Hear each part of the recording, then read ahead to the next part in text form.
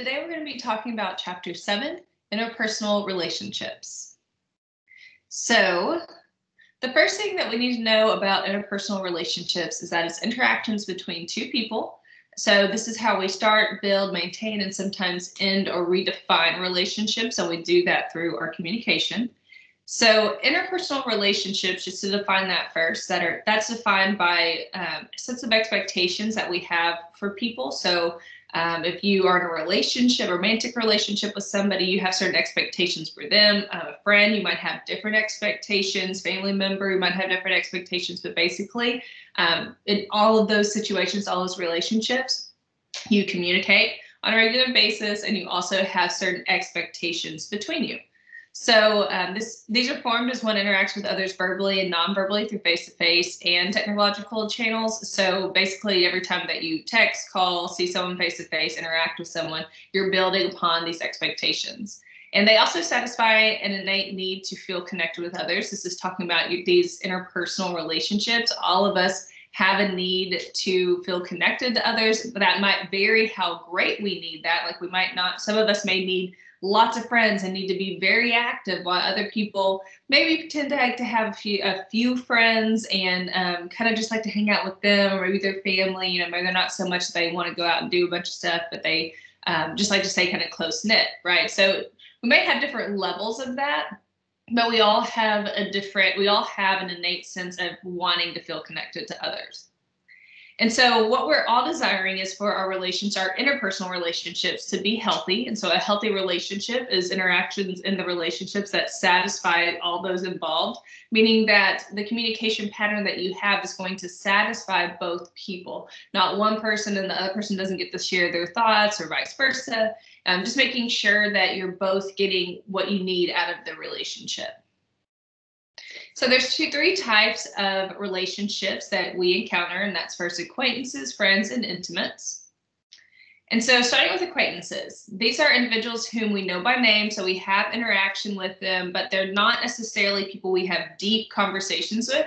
We have more of what is called impersonal communication. So this is going to be surface level chit chat, right? So maybe this is somebody at work that you're friends with and you know them, um, but you don't know them very well. So you just kind of, you know, talk about what you can think of, maybe the weather that day or, um, you know, something to do with work, but you really don't know a whole lot about each other otherwise. And so the goals during this communication, this communication is to reduce uncertainty. So just like every relationship, we've talked about this a lot in several of the other chapters, but whenever we communicate with, with others, we want to reduce uncertainty, meaning that we want to feel like we know how to communicate with that person and also um, saving face. So this is you know wanting to have a self image, a positive self image of yourself, and trying to make sure that that continues as you com- converse with this person. So, whenever we're dealing with acquaintanceships, we want to think about these things. We want to initiate conversations. So, some of us, I um, in class, I tend to ask people, do you feel like you're an initiator or someone that allows people to initiate with you? A lot of people tend to say that, oh, I, I don't necessarily initiate the conversation. I wait till the other person does. Well, it's important to at times when the, it's appropriate to initiate conversations. That's a polite thing to do. And then um, we want to make sure that when we do this and when we do have these interactions with acquaintance with acquaintances, we want to make sure that we make relevant comments. So you want to make sure whatever they're talking about that you talk about that too. You don't want to just kind of switch what they're talking about to whatever you want to talk about, right? Which is why we want to develop other centered focus, meaning that when we communicate, we're focused on the other person, we're listening, and we're responding appropriately. And we're doing what is called um, appropriate turn taking. So you want to make sure that you're listening and you're, you know, you're giving feedback, but you're not the only person communicating, or you're not the only, you're not making it where the only the other person talks. That's also not good, right? We don't want to kind of be the person that just seems closed off and doesn't like doesn't say anything. You want to make sure that you do have some appropriate turn taking. And then, of course, in all situations, you want to be polite. You want to make sure you don't say anything offensive. And so, most of the time, that's pretty obvious, but you just want to be aware of that. Okay, so now the next level that we have is called friends. And friends are people whom we ha- one has involuntarily negotiated more personal relationships. So basically, you are one you have more of a context with this person. You have maybe more interactions. You've gotten to know them on a deeper level. You have more topics maybe that you'll you'll talk about. Um, so maybe if you had kind of an acquaintance at work, that might just be somebody that you pass. Like for me, I have acquaintances at work. I see a certain teacher, to certain instructors when I go to the office and uh, maybe I make my lunch in the workroom. I see one or two people who tend to make their lunch at the same time, but they're not in my department and I don't see them very often. So I might know their name, but I really don't know and, and what they teach, but that's really it. So then when we talk, it's just kind of like, oh yeah, you know, today's crazy, oh, the weather or whatever. I mean, I'm always surprised one person asked me how my son was doing. I was like, oh wow, I can't believe that you knew that I have a son. You know, that was more of a, the, an acquaintance. But then I have the there's then there's another level of people that I actually would refer to as my friends, like my work friends. That's what this is talking about. These are often referred to in context. So like I have several friends at work that I don't necessarily hang out with outside of work, but when I'm at work, I actively seek them out and go and talk with them and um, communicate with them and ask them about their day and ask them about things that's going on in their lives and tell them about things in mine. And so there's kind of this that difference, right? I know a couple people by their name and by their department, but that's about it. This next level of friendship would be more so like I know them. We have more con- things that we talk about, a broader breadth, you could say, of topics. We go a little deeper, um, and I actively seek them out.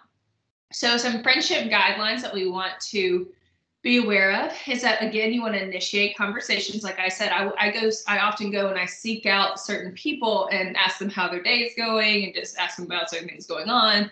I just make sure that I'm initiating conversations and then actively listen and respond. So I shouldn't go into these conversations just waiting to talk. I should want to listen as well. So you want to listen and respond appropriately.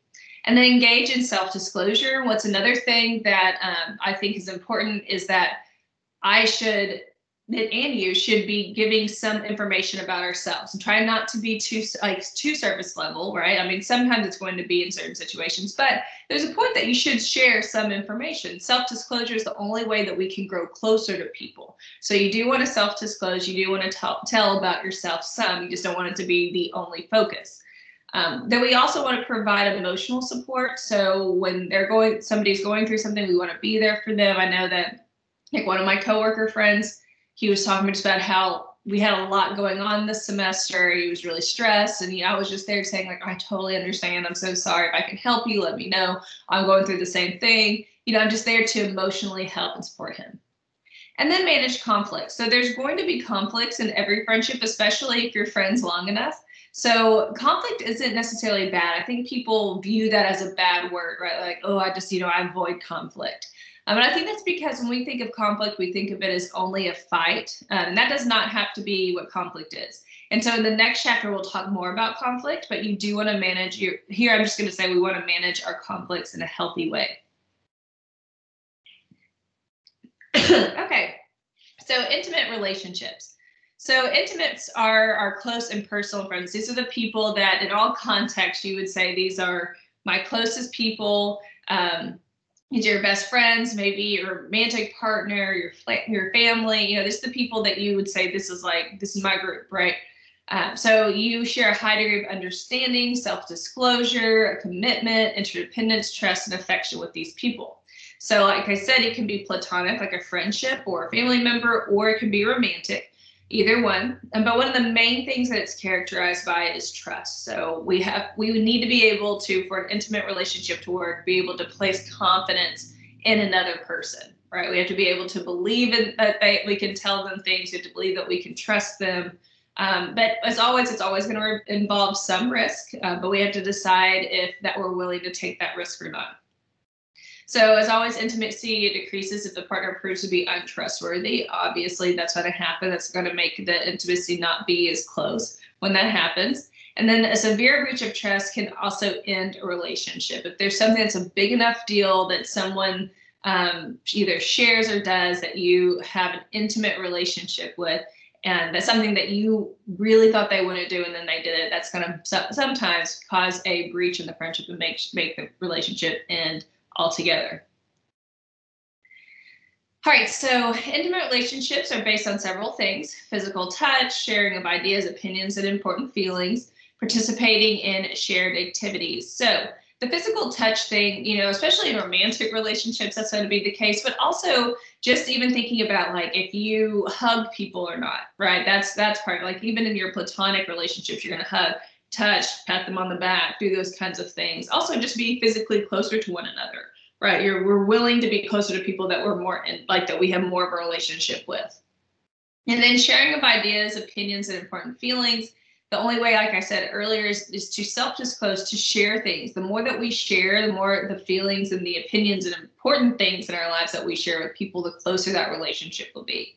And then also you need to participate in shared activities. So spending time with each other. Um, not spending enough time with each other is going to affect your relationship. So we want to make sure that we plan shared activities. And then once culture identity may influence the type of interaction one engages in, um, absolutely depending on the where you grew up and the culture you grew up in that's going to dictate how you treat others in intimate relationships what's appropriate what would be awkward all those things you want to think about that um, so intimacy develops norm development norms differ across cultures and are becoming less prominent so it kind of just depends on where you grew up like i said um, the norm that y'all established so each relationship too that you have will maybe have different norms and so that's kind of different as well. And then guidelines be dependable, responsive, responsive, collaborative, faithful, transparent, and willing. So dependable, that's something I feel like when I was younger, I wasn't as good about. Like when I was in college, I feel like I wasn't as dependable as a friend of a friend. I, I did too many things. I had my hands in too many things. I had so many friends. I had just so many things I was doing and I felt like it made me not as dependable as as I am now. But as uh, you know, back then I feel like I just couldn't be anyone's best friend or just a really good friend because I wasn't dependable for them. Um, or sorry, let me say that I wasn't someone they could depend on. And then also responsive. So make sure that you respond to people, that you think about how you respond, that you respond promptly, that you care, uh, you show that you care in your responses. How we respond to people is really going to dictate how close our relationship is. And then collaborative. So this is means like we'll talk more about collaboration in the next chapter. But again, this is talking just about growing, being able to communicate about a lot of things, sharing our feelings, discussing, working together to figure things out. Faithful, obviously, especially in, um, in romantic relationships, you want to think about that. You want to be faithful. Um, and then transparent. So being open, honest is huge in relationships. The more open and honest we can be, the closer we feel to somebody. And then willing means willing to sacrifice for that person, willing to um, to try for the relationship, to um, try to understand the other person, to sacrifice maybe some things that you want for that person and what they need. Um, but it's just a, a willingness to do what it takes for the relationship. Okay, so in a lot of these, I talked about self-disclosure, self-disclosure, just sharing information. That's basically what we're going to talk about now. So disclosure has a lot to do with a relationship life cycle. So people often probably think that once you get to a certain level with someone that, you know, you're just close. And in some ways, yes, but in a lot of ways, a relationship will have a life cycle. So it kind of move back and forth between different phases depending on the amount of disclosure that's being given, how much time you're spending together, all of those things. And this disclosure can and feedback, those kind of those two things go hand in hand, sharing information, but also listening to others and giving feedback. So there's two ways of, that we disclose. First, we can either self-disclose, so this is information about ourselves, or we can self-disclose, or we can disclose others, other information or other disclosure, centered disclosure that is going to be more about information being shared about a third party. So, like if I'm upset at my husband and I decide to share that with my friend and ask her her advice, I'm self disclosing some information, but I'm also other disclosing, meaning I'm, I'm disclosing information about my husband as well. So, you want to be careful about what you disclose about others, right? Um, you don't want to breach any trust there, but you just want to make sure, like sometimes that's important and you do need to do that um, whenever with the people that you're disclosing to. Okay, so social penetration theory. So this is another part of about disclosure. So this particular theory talks about how self-disclosure kind of strength how it grows in your in different relationships. So like somebody, for example, if you look at the page, let's see what page it's on.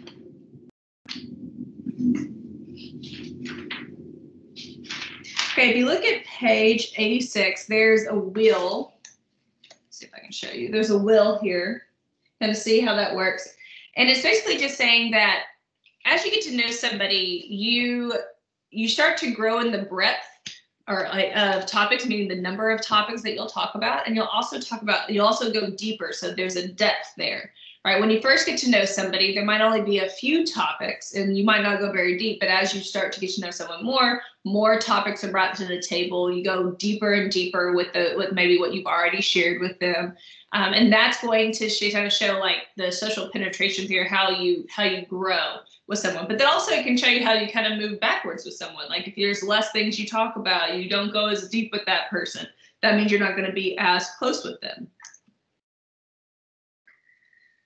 The next thing that is shown in the book, I think it's on page 87, is the Johari window. And so this is just another theory about how we disclose information. So when you get to know someone, you have this box. So you have in the first box, you have this open category. So this is stuff that you, these are topics you're willing to talk about you're willing to so like me i tell, told you i grew up in north little rock i went to north little rock high school. So i'm telling you this information. That means since i'm willing to tell you that that's in our open category right?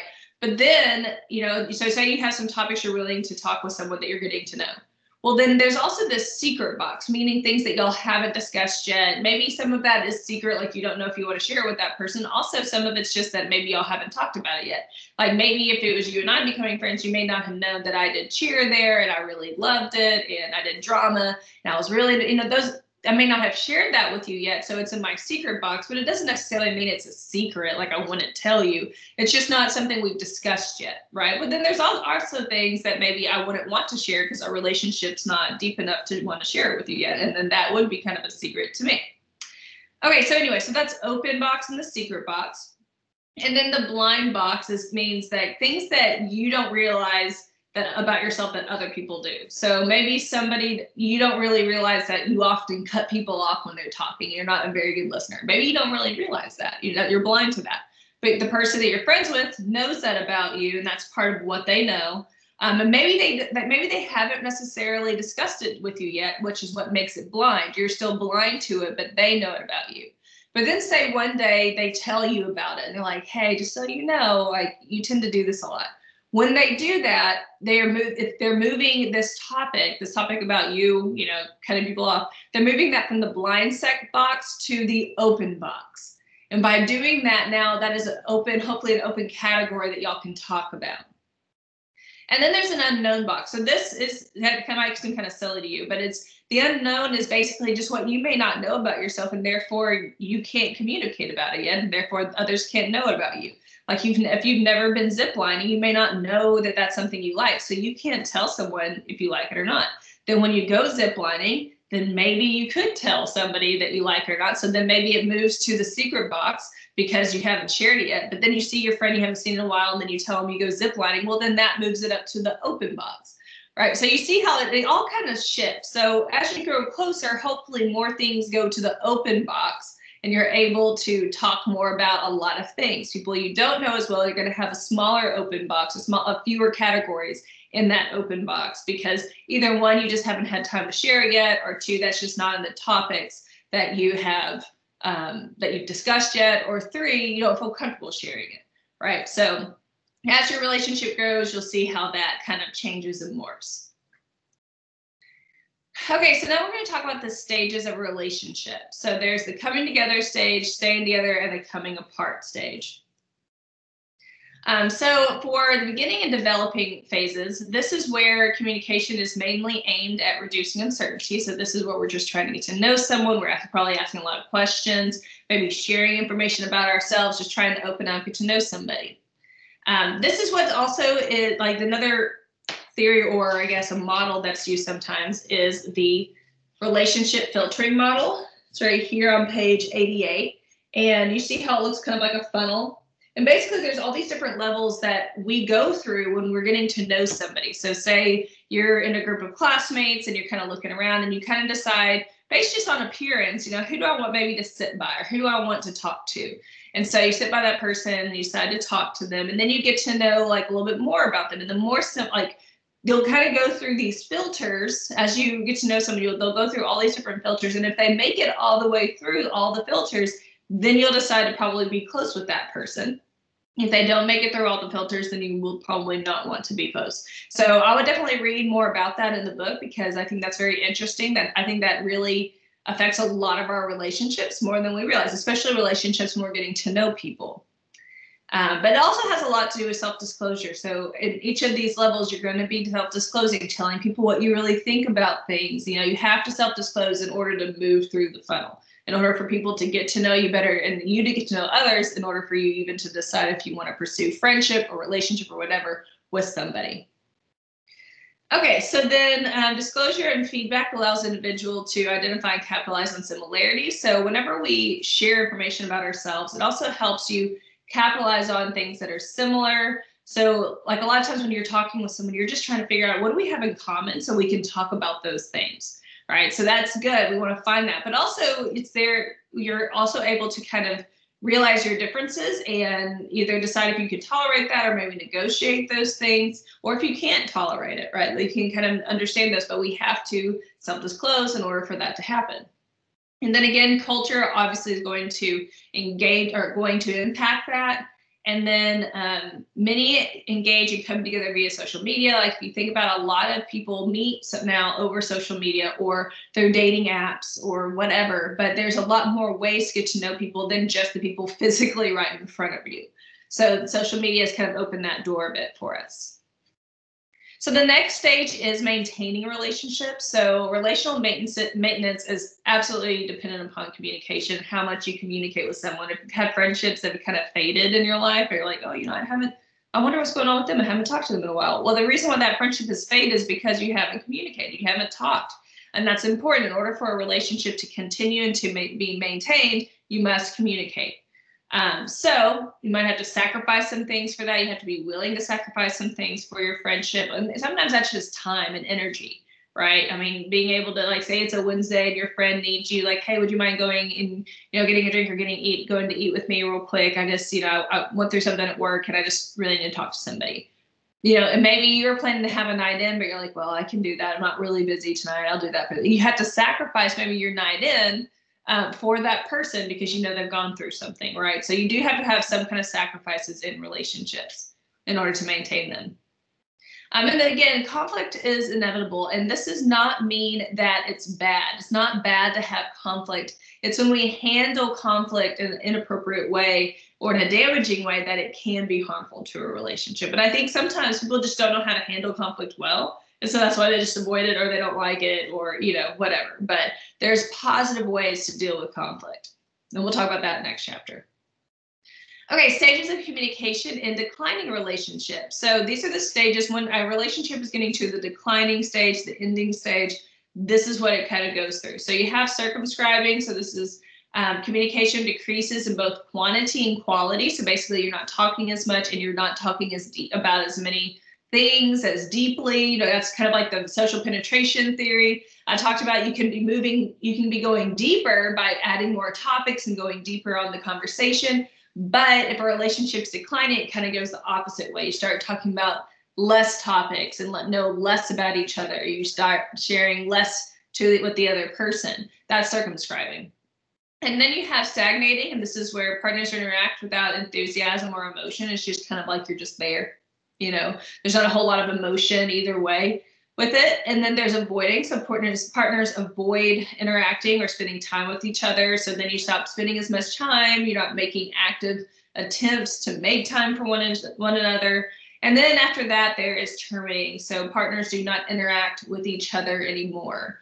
Um, sometimes with terminating too it can just be that it is more of a shift of a relationship which i think we'll talk about in a minute um, so, along with dissolving relationships, there's different ways that we end this. So, grave dressing is uh, the attempt to express why the relationships failed. That can be done in a good way, or or in a healthy way, or in an unhealthy way. Sometimes, and more often than not, we this is where sometimes we just kind of withdraw, or we avoid, or we place blame. Um, but you can sometimes have an appro- appropriate way of grave dressing of, of ending a relationship in a way that's very direct, open, and honest, that's still considerate of the other person. Um, that is the way that we want to handle the ending of our relationships. And then relationship transformation. This is um, when our sometimes in when certain relationships end, they can be transformed. So, say you were dating somebody, but then y'all's relationship ended, and now you can be friends. Um, or say, like several of my friends have gotten divorced, but they have kids and they want to be effective co-parents. So maybe they in their marriage ended, so that relationship ended, but it didn't necessarily mean they stopped communicating. It just um, transformed their relationship, right? So now they have a co-parenting relationship versus a married relationship. All right, so there are these things called relational dialects and interpersonal relationships, and these are basically just different tensions that we have that you often feel within a relationship. So um, a dialectic is just a tension between conflicting forces. And some of these are, and you'll recognize many of them in your maybe your own relationships that you may feel. Um, but some of these tensions are autonomy versus connection. So meaning that you want to feel independent, but you also desire to feel close to somebody and make decisions together. Um, you know, there, or you know, it can be you. You personally might be struggling with this, but also might be one partner wants to be closer or make her sorry more connected, make more decisions together, spend more time together. The other person might desire a little bit more autonomy, a little bit more me time, um, a little more time to do what they would like to do, um, and so that would be one tension. And then there's openness and closeness. So openness is the desire to share intimate ideas and feelings with some with your partner, and then closeness would be the desire to maintain privacy. Sometimes it might be a desire, sometimes it might just be it makes them uncomfortable to share a lot of feelings and thoughts and opinions. So um, that could be one partner wanting one way and the other one wanting the other, or also could just be you could have that conflicting within you, like you want to share something, you also want to just be able to kind of think about things and keep it to yourself if you want to. Um, and then there's not novel novelty. I almost said novelty, novelty and predictability. Um, novelty is just wanting, desiring originality, freshness, and uniqueness. Like this is basically what you feel in the beginning stages of a relationship. Um, so it's normal to kind of desire that, to want that uniqueness and that freshness.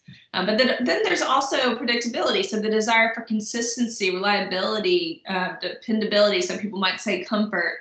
Um, those are also those are two things I think people feel a lot. You can kind of feel like you can want that that comfort and that predictability and that consistency, but you might also desire some freshness and some uniqueness, something new in your relationship. Or it might be that one person feels that way and the other person is totally happy with their you know with the with the relationship as it is so again this is also always just kind of some different tensions that are going on in relationships either within yourself or between two people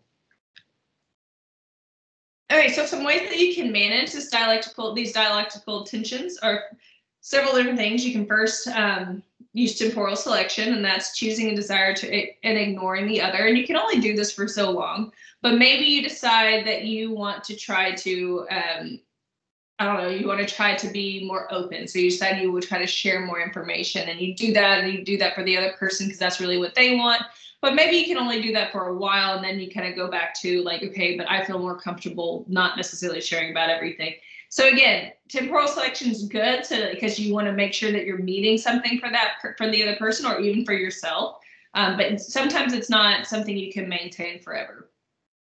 And then there's topical segmentation. Um, that is choosing different topics to satisfy different dialectical tensions. So kind of picking and choosing different areas that you want to um, try to satisfy. So maybe you can't satisfy everything, but so like say for um, wanting uniqueness versus comfortability, you know, like you might try to try to pick some things like you might try to do new dates or try to make a list of things that you've never done before that you want to try to do that might be good and then there's neutralization, so finding a compromise between the needs of both partners. So kind of trying to find the middle ground.